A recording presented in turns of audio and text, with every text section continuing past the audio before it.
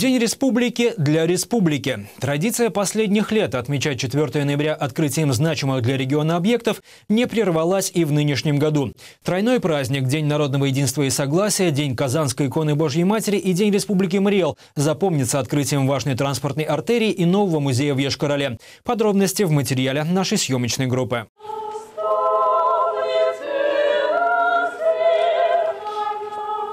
Архитектурная и смысловая формы правобережья Большой Кокшаги в центре Йошкар-Олы получили свой окончательный вид. Памятник создателям славянской азбуки Кириллу и Мефодию, Троицкий храм, а теперь еще и музей истории православия, который насчитывает в Марийском крае более 400 лет. В Йошкар-Оле появился новый объект, который будет привлекать и жителей республики, и туристов.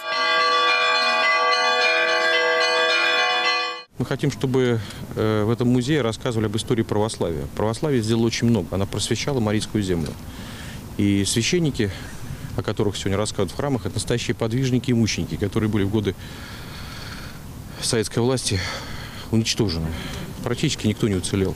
Разрушены были все храмы. И очень важно, чтобы новое поколение приобщилось к истории Марийского края, к истории православия. Это будет полезно и я думаю, что будет иметь большое воспитательное значение. Экспозиция Музея истории православия собрана из запасников Национального музея имени Евсеева. Большинство экспонатов никогда ранее не выставлялись. Здесь элементы церковного облачения, утварь, иконы, личные вещи, дополненные стендами с фотографиями и текстовой информацией. Стоит отметить, что выставка раскрывает перед посетителями то, что в годы советской власти превратилось в белые пятна истории. Прежде всего, роль православия в культурной и образовательной жизни Марийского края, а также духовный подвиг священнослужителей из Мариэл, которые предпочли смерть отречению отречению от веры.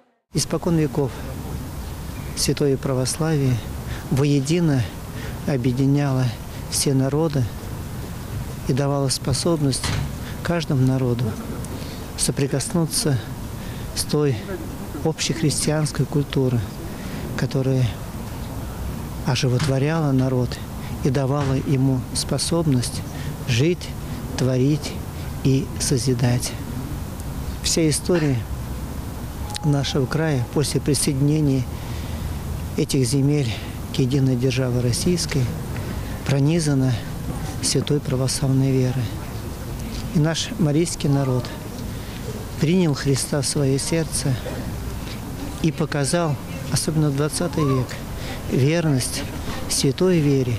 Еще один подарок Ешкарале в День Республики совершенно иного характера. Проспект 70-летия Победы в Великой Отечественной войне, построенный по современным технологиям, обеспечит транспортную доступность новых микрорайонов столицы – спортивного, молодежного и мирного. В нынешнем году построили первую очередь дороги от Воскресенского проспекта до улицы Петрова. Стоимость проекта – около 100 миллионов рублей. Проспект построили с ливневой канализацией, карманами для парковки и остановками общественного транспорта, который будет ходить здесь в будущем.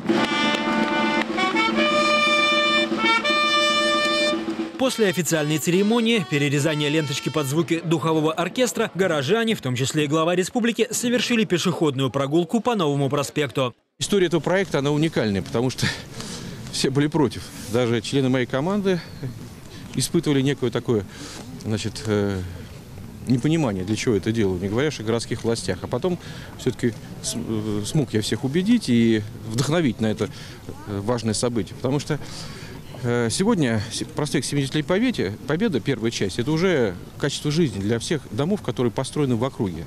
Представьте себе, выдавались площадки, точной застройкой, строились дома, садили на готовые сети, нагрузка на сети колоссальная, линейная локализация отсутствовали, подъездные пути отсутствовали, озеленение детской площадки, мы даже об этом не говорим. Люди мучились, несмотря на то, что купили квартиры и поверили, что вот мы купим, и здесь можно будет хорошо жить. Мы хотим эту ошибку исправить. И вот сегодняшний э, этап, первый этап открытия проспекта 70-летия Победы, причем он доходит до улицы Петрова, а затем мы сделали временный перекресток, который будет позволять на улице Петрова поворачивать направо и выезжать, так сказать, по всем городским артериям. На следующий год мы этот проспект продолжим и соединим его с улицей Кирова. Сделаем перекрестки. Все это капитально делается. Посмотрите, здесь не просто асфальт лежит на щебне, да? Асфальт лежит на бетонной подушке. Это новая технология. Сделана ливновая канализация, позволяющая воду отводить с дорожного покрытия и вообще с округи. Э, такие дороги надо строить. Они дорогие, конечно. Но если строили бы в советской власти такие дороги, сегодня вы не кричали, я плачу налоги, где дороги? Особенно те, кто налоги не платит. Вот на сегодняшний день, я думаю, что строительство таких дорог – это требование времени.